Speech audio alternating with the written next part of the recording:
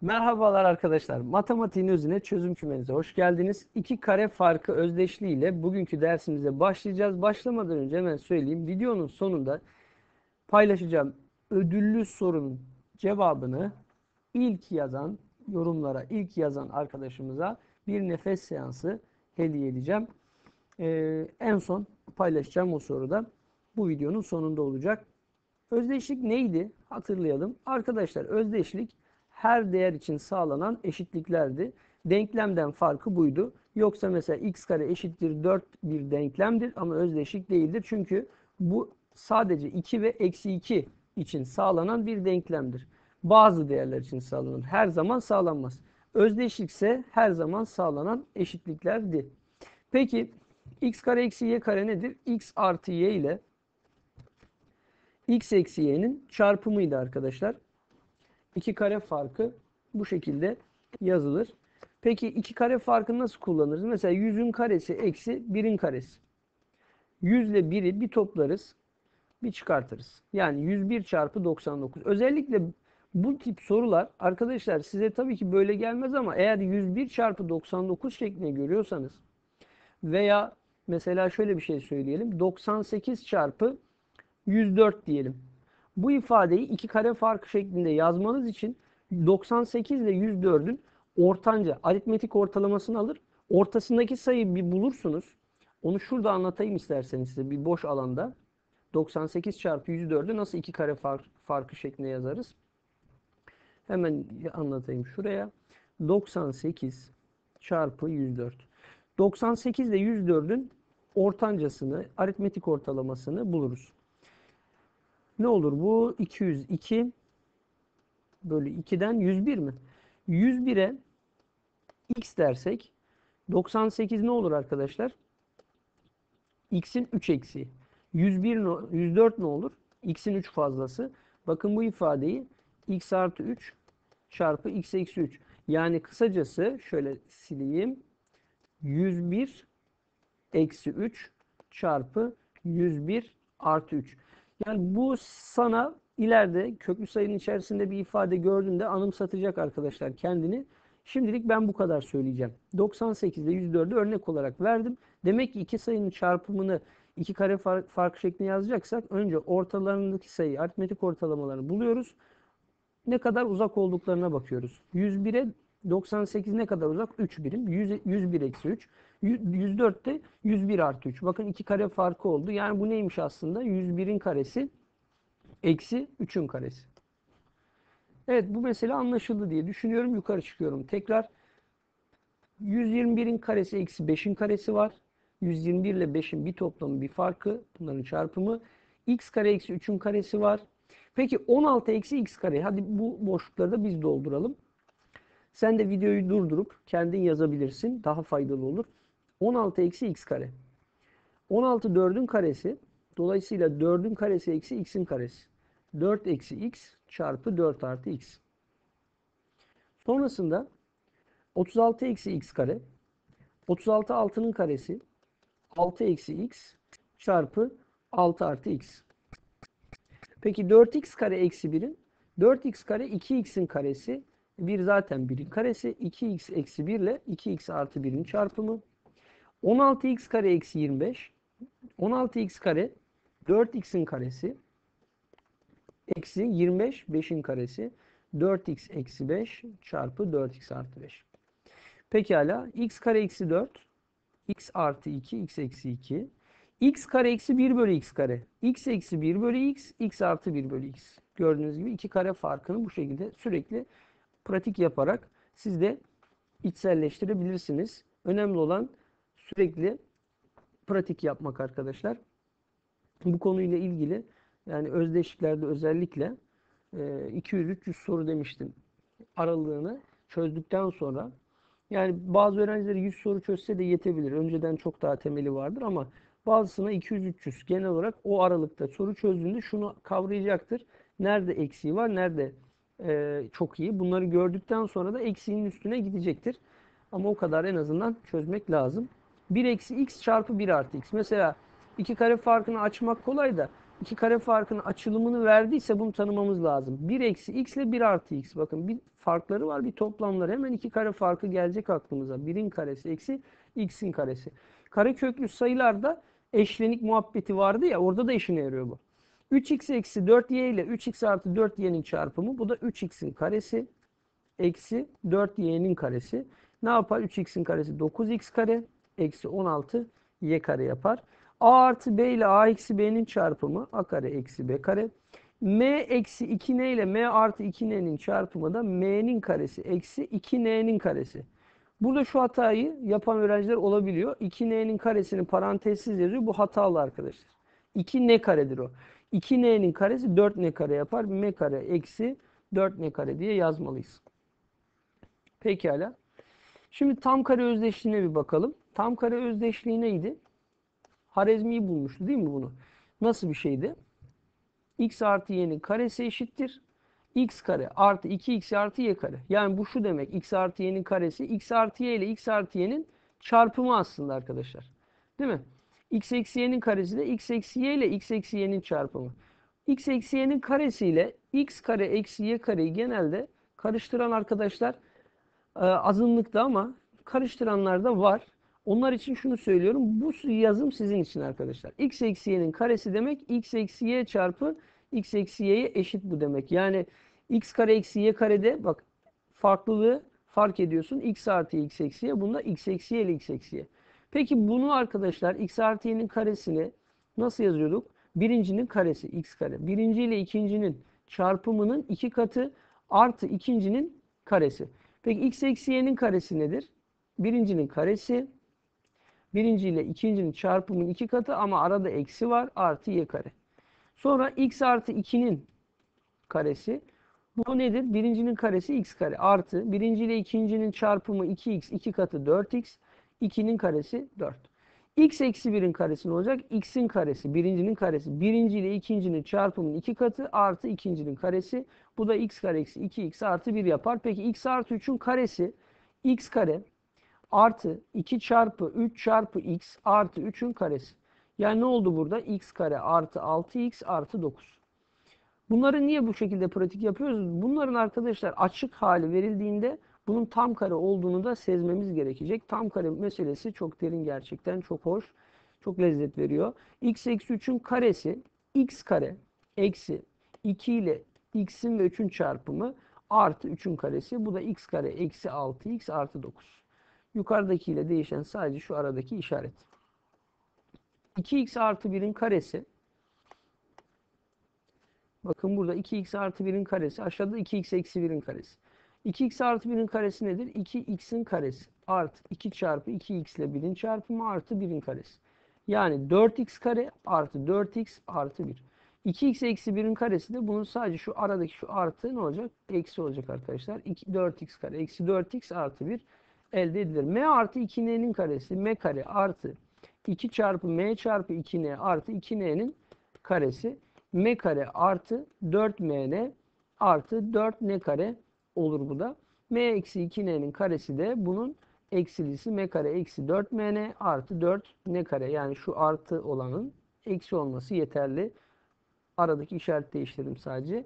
Peki şimdi açılmış hali verilmiş ifadeleri tam kare olup olmadığını nasıl yazdığımızı görelim. m kare artı 2m artı 1. Bakın şuradaki m karenin katsayısı 1 iken şu hareketi yapman yeterli tam kare olup olmadığını anlaman için. Şu m'nin katsayısı 2 bölü 2'den 2 ya yarısı 1 karesi 1. Burada 1 yazıyorsa demek ki yani m'nin katsayısının yarısının karesi yanındaysa o zaman bu m artı 1'in karesi olur. Mesela hocam yani şunu mu diyorsun x kare eksi 4x artı 4. Burada eksi 4'ün yarısı eksi 2 karesi 4. Bu da o zaman x eksi 2'nin karesi mi oluyor? Evet. 4 ne kare? Eksi 4 ne artı 1. Bunlarda ne yapıyoruz? Başta ve sondaki ifadeleri dikkat ediyoruz. 4 ne kare? 2n'nin tam karesi değil mi? 1, 1'in tam karesi ama şurada eksi gördüğüm için burayı da şöyle düşünüyorum. Eksi 1'in de karesi 1 ya. O zaman 2n'nin de karesi var. Eksi 1'in de karesi var. Çarpımlarının iki katı da ortada. 2n ile eksi 1'in karesi tam karesi olarak yazılır. 9x kare 3x'in tam karesi 1 birin tam karesi. Ortada da çarpımlarının 3x ile 1'in çarpımının 2 katı var. Dolayısıyla bu 3x artı 1'in tam karesi olur arkadaşlar. Pekala. Şimdi biraz şöyle bakayım boş bir alan oluşturabilir miyiz? Kendimize şurada birazcık o zaman ikinci dokümana geçeceğiz. Şurayı tekrar küçültüyorum. Ya da heh, bir sayfa açabiliyormuşuz. Hemen bir açalım sayfamızı. Evet. Şimdi arkadaşlar bir ifadenin tam karesi x artı y'nin karesi mesela daima nedir? Sıfırdan büyük eşittir. Çünkü negatif bile olsa içerisi karesi pozitif gelir. Eğer bunun önünde eksi varsa x artı y'nin karesi bu da sıfırdan küçük eşittir. Burada x kare artı 4x artı 5'in mesela minimum değerini bulmak istiyorsam bu ifade or x'in katsayısını 4 yarısı 2 4'ün yarısı 2 karesi 4. O zaman bunu tam kareye benzetiyorum. x kare artı 4x artı 4 ama burada 5 var hocam. O zaman artı 1 de yazıyorum. Yani aslında 5'i 4 artı 1 diye yazıyorum. Şu x artı 2'nin karesi oldu. Artı 1. Böylece tam kareye benzettikten sonra arkadaşlar x yerine öyle bir şey yazayım ki bu adam minimum olsun. x yerine eksi 2 yazarsanız bunu sıfırlamış olursunuz. Dolayısıyla bu x kare artı 4x artı 5'in minimum değerini temsil eder. Hatta aramızda parabolle ilgili birazcık bilgisi olan varsa bu x kare artı 4x artı 5 kolları yukarı bir adam tepe noktası neyi veriyor arkadaşlar? Tepe noktasının ordinatı minimum değerini veriyor. Aslında bizim bulduğumuz bu bir tepe noktasının ordinatı aslında. Oradaki konuyla da özdeşleşebilir. Burada önünde eksi olursa mesela eksi x kare eksi 6x eksi 7 gibi bir ifade vardı. Artı 7 olsun. Çok önemli değil. Hatta ne olsun? Üfürelim. 17 olsun. Peki bu ifadenin maksimum değerini soralım. Arkadaşlar önce bunu eksi parantezine alalım. x kare artı 6x eksi 17. Şimdi şu adam bu bunun maksimum değeri soruluyor ya. Önüne eksi yazılmış. Şurasının ne olması lazım? Minimum mu olması lazım? Hmm. Peki bunu minimum yapmak için yine tam kareye benzetip x kare artı 6x 6'nın yarısı 3. 3'ün karesi 9. Buraya 9 yazarsam x kare artı 6x artı 9 eksi 17 olması için eksi kaç yazarsak buraya eksi 26 mı? Eksi 26 yazarım. Aynısını yazdım aslında. 9'dan 26 çıksa eksi 17 olacak. Peki o zaman tam kareye de benzettiğime göre x artı 3'ün karesi eksi 26. Önünde de eksi var. Şimdi ben burada arkadaşım ne yapacağım? x artı 3'ün karesini hani minimum yapacaktım ya. O yüzden x'i eksi 3 seçeceğim. Burayı hop sıfırladım. Eksi 3 artı 3 karesi ne olur? 0. Eksi eksi 26 yani 26 maksimum değeri buldum. Parabol konusuyla ilgilenenler için hatırlayın. Kollar nereye oluyor önünde eksi olunca x karenin önünde? Kollar aşağıya oluyor. Bak tepe noktasındaki ordinatı bize maksimum değeri veriyor. Bunu bulmuş olduk. İleride türev gördüğünüzde türevden de bu tip soruları yapabileceksiniz. Biz burada şimdi ne yaptık yani? Tam kare yardımıyla tam kare yardımıyla minimum ve maksimum değerler elde ettik arkadaşlar. Bu bizim için önemliydi. Peki başka ne yapabiliriz? Tam kare ifadelerde. Hani ekstra formül üreten kitaplar olduğu için ben şunları yazmak istiyorum. x artı y'nin tam karesi neydi? x kare artı 2xy artı y kareydi değil mi arkadaşlar? E, 2xy'yi sol tarafa atsak x artı y'nin tam karesi eksi 2xy eşittir x kare artı y kare olmaz mı? Yani o zaman ekstra bir formül gibi düşünmeyin bunu. Yani siz tam kareyi biliyorsanız x kare artı y kareyi oradan çekebilirsiniz. Peki x eksi y'nin tam karesi neydi? x kare eksi 2xy artı y kareydi. E o zaman buradan da eksi 2xy'yi şutlarsanız x eksi y'nin karesi artı 2xy x kare artı y karedir. He, buradan da yine bu şekilde yani hangisi işine geliyorsa ister bunu kullan ister bunu yeri geldiğinde bunları da kullanabilirsiniz. Harizmi'nin yaptığı ispat nasıldı arkadaşlar? Derste de bunu çalışmıştık. Mesela x artı y uzunluğunda kenarlara sahip bir kareyi alıyor. Şu şekilde sağ ucundan y birim ve sol ucundan şu şekilde y birim kayacak şekilde hop bu kenarlara paralel çizgiler çekiyor.